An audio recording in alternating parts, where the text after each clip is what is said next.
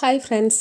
രജനീസ് കിച്ചന്റെ പുതിയ വീഡിയോയിലേക്ക് എല്ലാവർക്കും സ്വാഗതം. അപ്പോൾ ഇന്ന് നെല്ലിക്കേന്റെ ലേഹമാണ് ഉണ്ടാക്കുന്നത്. നാടൻ നെല്ലിക്ക കിട്ടുന്ന സമയത്ത് നമുക്കിതുപോലെ ലേഹം ഉണ്ടാക്കി വെച്ചാൽ വളരെ നല്ലതാണ്. കുട്ടികൾക്കും മുതിർന്നവർക്കും ഒക്കെ നല്ലതാണ്. യൗവനം നിലനിർത്താനും നമ്മുടെ മുടിയുടെ കറുപ്പ് നിറം നിലനിർത്താനും ഒക്കെ നല്ല ലേഹമാണ് പിന്നെ ഹോം മെയ്ഡ് ആയതുകൊണ്ട് തന്നെ നമ്മൾ പ്രിസർവേറ്റീവ് ഒന്നും ചേർക്കുന്നില്ല. നമുക്ക് ധൈര്യമായിട്ട് കഴിക്കാം. അപ്പോൾ അത് എങ്ങനെയാണ് നമുക്ക് തയ്യാറാക്കുന്നത് നോക്കിയിട്ട് വരാം.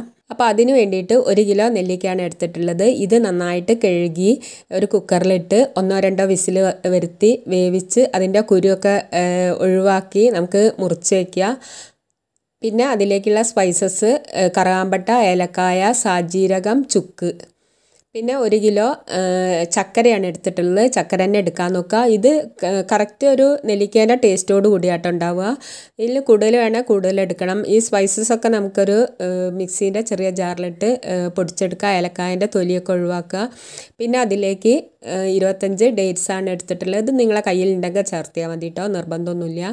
അപ്പോൾ ഞാൻ നെല്ലിക്കൊക്കെ കുരുവൊക്കെ ഒഴിവാക്കി വെച്ചിട്ടുണ്ട് വേവിച്ചതിന് ശേഷം.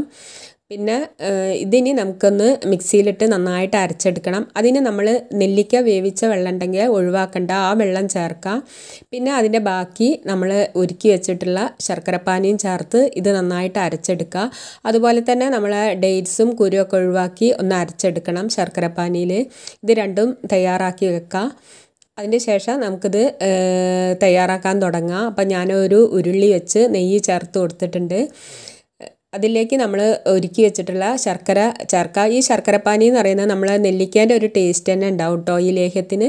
അതിൽ കൂടുതൽ മധുരം വേണമെങ്കിൽ നിങ്ങൾ ഒരു ഒന്നേകാൽ കിലോ ഒക്കെ ശർക്കര ചേർക്കണം.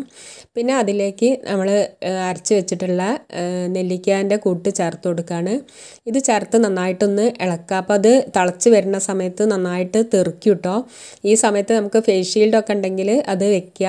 അപ്പോൾ നമ്മളെ മുഖത്തേക്കൊന്നും തെറിക്കില്ല പിന്നെ അല്ലെങ്കിൽ നമ്മൾ ഒരു മൂടി ഓയിൽ എന്തെങ്കിലും എടുത്ത് മൂടി വെച്ചും കൊണ്ട് ഇങ്ങനെ ഇളക്കേണ്ടി വരും പിന്നെ അത് ഒന്ന് കുറുകി വരുന്ന സമയത്ത് നമുക്ക് അതിലേക്ക് അടിച്ചു വെച്ചിട്ടുള്ള ഈ ഡേറ്റ്സും ശർക്കരയും കൂടെ അടിച്ച് വെച്ചിട്ടുള്ളത് ചേർത്ത് അതിന്റെ ശേഷം ഞാനിത് അടുപ്പത്തേക്ക് എടുത്ത് വെച്ചിട്ടുണ്ട് കേട്ടോ അടുപ്പിൽ വെച്ച് കഴിഞ്ഞാൽ നമുക്ക് നന്നായിട്ട് ഇളക്കി കൊടുത്താൽ വേഗം ആവും. പിന്നെ കൈ വെക്കാതെ ഇളക്കിയാൽ മതി. നന്നായിട്ട് തീയും ഉണ്ടാവും. അപ്പം നല്ല ഒരു പാകത്തിൽ വെന്ത് കിട്ടും.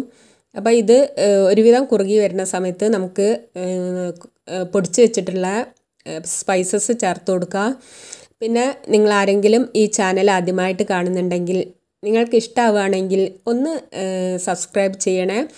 അപ്പോൾ തൊട്ടടുത്തൊരു ബെല്ലൈക്കൺ കാണാം. അതിൽ ഓൾ എന്ന ഓപ്ഷൻ കൂടി കൊടുക്കണം കേട്ടോ. അപ്പോഴേ ഉള്ളൂ ഞാൻ വീഡിയോ ഇടുന്ന സമയത്ത് നിങ്ങൾക്ക് നോട്ടിഫിക്കേഷൻ കിട്ടുള്ളൂ. അപ്പം നമ്മൾ ഇടയ്ക്കിടയ്ക്ക് കുറേശ്ശെ നെയ്യ് ചേർത്ത് കൊടുക്കുക. ലേഹത്തിന് നെയ്യ് പ്രധാനമാണ്. നന്നായിട്ട് വെന്ത് കിട്ടാൻ വേണ്ടിയിട്ട് ഇല്ലെങ്കിൽ പെട്ടെന്ന് പൂത്തു പോവും. അപ്പോൾ ഇത് തയ്യാറാക്കിയിട്ട് നമ്മൾ പുറത്ത് കുറേ ഒന്നും വെക്കാൻ പറ്റില്ല പുറത്ത് വെക്കുകയാണെങ്കിൽ നമ്മൾ ദിവസം ഒന്നെടുത്ത് ചൂടാക്കണം. ഒന്നിടവിട്ട ദിവസങ്ങളിൽ തന്നെങ്കിലും നമ്മൾ ഫ്രിഡ്ജിൽ വെച്ചാൽ മതി. അപ്പം കുറച്ച് ഒരാഴ്ച കഴിക്കാനൊക്കെ ഉള്ളതുകൊണ്ട് നന്നായിട്ട് മൂപ്പിച്ചെടുത്തതിന് ശേഷം പുറത്ത് വെക്കുക. അപ്പം ഞാൻ നന്നായിട്ട് തന്നെ മൂപ്പിച്ചെടുത്തിട്ടുണ്ട്. ഏഹ് ഇത് നമുക്ക് ഓരോ സ്പൂണ് വീതം രാവിലെയും വൈകുന്നേരം മുതിർന്നവർക്ക് കഴിക്കുക. കുട്ടികൾക്കാണെങ്കിൽ പകുതി കഴിച്ചാൽ മതി. അപ്പോൾ ഇനിയും പുതിയൊരു വീഡിയോയുമായി വരുന്നവരെയും ബായ് താങ്ക്